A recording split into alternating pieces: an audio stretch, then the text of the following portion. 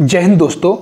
आइए जानते हैं मार्केट कैप के अनुसार इंडिया की टॉप फाइव टेलीकॉम सेक्टर की कंपनीज़ के बारे में, जिनमें पहली है भारतीय एयरटेल जिसका मार्केट कैप है तीन लाख सत्तर हज़ार सात सौ चौहत्तर करोड़ रुपीस दूसरी है इंडस टावर्स जिसका मार्केट कैप है छप्पन हज़ार चौवन करोड़ रुपीस तीसरी है टाटा कम्युनिकेशन लिमिटेड जिसका मार्केट कैप है बत्तीस हज़ार छः सौ तेरह करोड़ रुपीस चौथी है वोडाफोन आइडिया जिसका मार्केट कैप है उनतीस हज़ार सात सौ इकतालीस करोड़ रुपीस।